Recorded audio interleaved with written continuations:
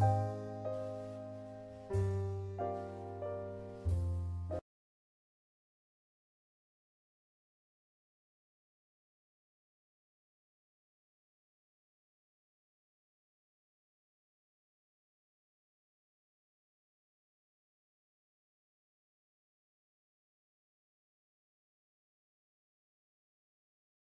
everyone, today I'm going to do a tutorial for you guys and this is a Super Bowl tutorial. This is the Super Bowl 2011, I think, what is this, 45 or I don't even know.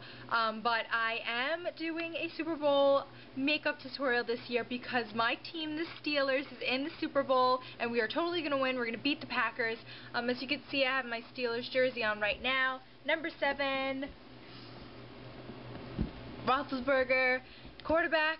So excited for the Super Bowl. So I know I'm going to be doing some crazy game day makeup and I just thought I'd film a tutorial on it for all the other Steelers fans out there.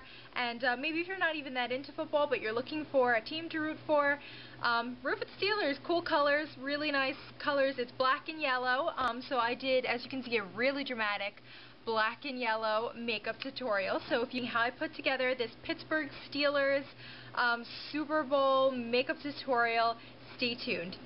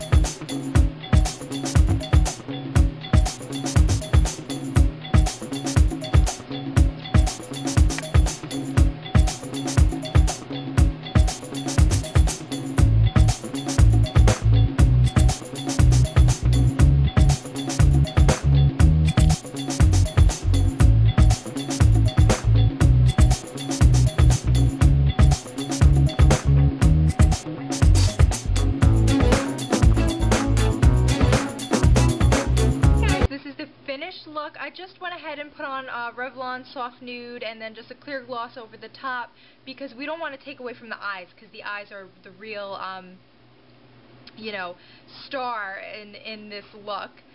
And then I just went ahead and used a neutral peachy blush. Um, again, we don't want to take away from the eyes, but as you can see, I used some pretty dramatic lashes. I used these $1 e.l.f.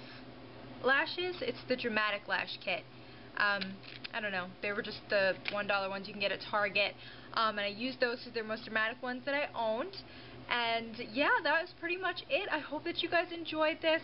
Um, I know that a lot of people like to go to Super Bowl parties, and a lot of people go all out for their Super Bowl parties, especially if you are a Pittsburgh or Green Bay fan this year.